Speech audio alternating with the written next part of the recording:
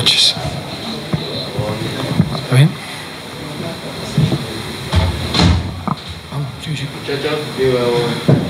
Muy buenas noches. Damos comienzo a la conferencia de prensa del técnico Huracán, Diego Dabove. Primera pregunta.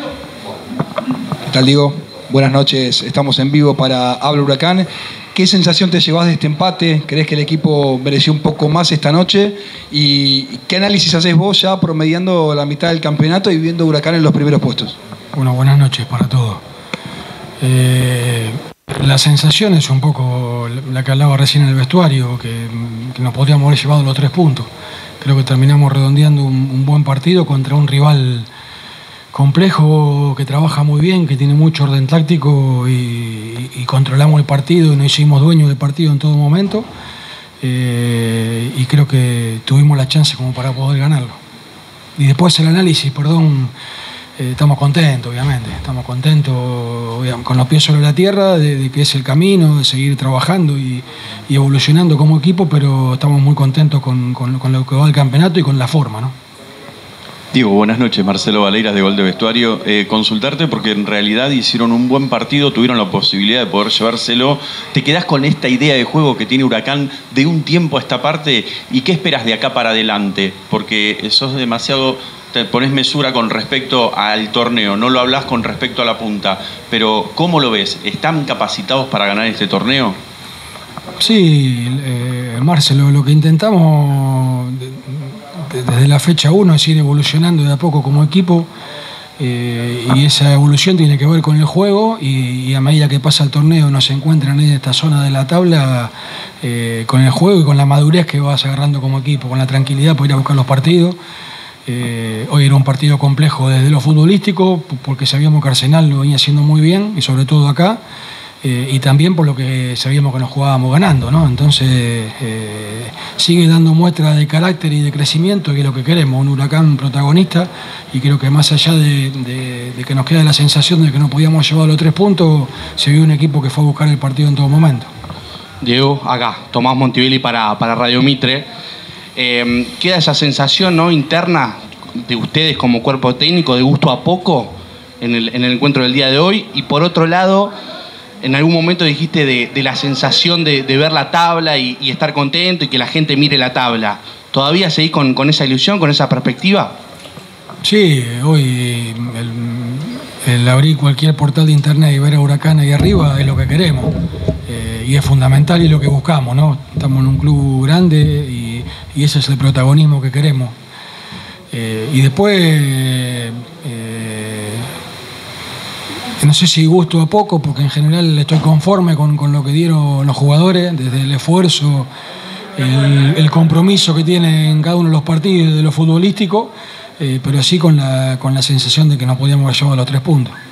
Hola Diego, ¿cómo estás? Te saluda Martín Herrera de Radio Ciudad Venado. Mi consulta es, eh, ¿crees que en el primer tiempo se debió mejorar la finalización de jugadas como hizo en el segundo tiempo Huracán? Que jugó un gran partido. ¿Y, cre ¿Y, crees que también fue una de las claves la paciencia en todo momento del encuentro? Sí, la, paciencia es una palabra clave porque la, utilizamos en el entretiempo, porque era fundamental para este tipo de partido no volvernos locos y seguir buscando eh, con tranquilidad y con orden. Y, creo que sí, hoy la, efectividad eh, es quizás lo que nos faltó, de haber sido más efectivo no hubiéramos llevado los tres puntos. ¿Qué tal, Eduardo Carbone? ¿Cómo te va, Diego? Hola, Eduardo, Para Globo de Primera y Huracán y sus protagonistas, discúlpame. Eh, ¿Por dentro sentís bronca de, de, de tantos eh, goles errados? Porque jugar Huracán jugó muy bien. Remontó partidos contra Independiente, por ejemplo, hoy. Eh, hay una línea de juego.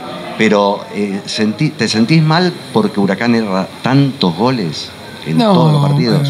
Mal, mal no, la bronca es la que en general hay en el vestuario, una bronca futbolística, ¿no? De que se hizo un esfuerzo muy grande, eh, que seguimos dando muestra de que el equipo está bien y, y se merece estar en, en, la posición en la que está en la tabla. Pero bueno, también son situaciones futbolísticas y convivir con este tipo de resultados después es seguir creciendo y evolucionando a medida que pasa el torneo. Hola Diego, ¿cómo estás? Buenas noches. Eh, Miguel, eh, para Por Amor a la Camiseta, preguntarte, eh, ¿Sentís que hoy en día Cristaldo es el jugador más clave del equipo? O sea, si lo ves desde tu punto de vista, más influyente en los últimos partidos. Y si sentís que hoy se valora más lo que fue el empate por cómo se dio el principio del partido y si valorás más el empate o si perdieron dos puntos en realidad como fue el empate que se terminó el partido. No, el, el, empate lo valoramos futbolísticamente, porque creo que hicimos un buen partido ante un rival complejo, como dije anteriormente. Eh, después, después creo que Franco está en un nivel extraordinario y, eh, y, la verdad que me pone muy contento porque se lo merece. Eh, y, es uno de los goleadores, de los mejores jugadores del campeonato y, tener la posibilidad de tenerlo, la verdad que nos pone muy contentos a todos. Diego, ¿qué tal? Buenas noches, Jerónimo Ranero de la agencia Telam. Dos cortitas para cerrar. te pregunto por Benítez, que volvió a salir, si es nuevamente una lesión o una molestia, y cómo lo viste al uruguayo Cabrera. Benítez tuvo un golpe en el vasto interno, ya en el entretiempo entró con, la pierna hinchada, eh, intentó seguir, pero lo hacía, creíamos que con dificultad y, por eso el cambio de Carrizo. Eh, fue un golpe desafortunado, pero nada, nada grave creo. Y a Michael bien, lo vemos, viene evolucionando, jugó en el amistoso con Almagro el otro día.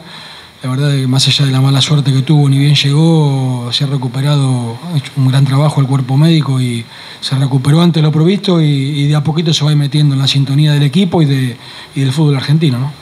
Muchas gracias a todos. Gracias gente, buenas noches. Estamos por finalizar la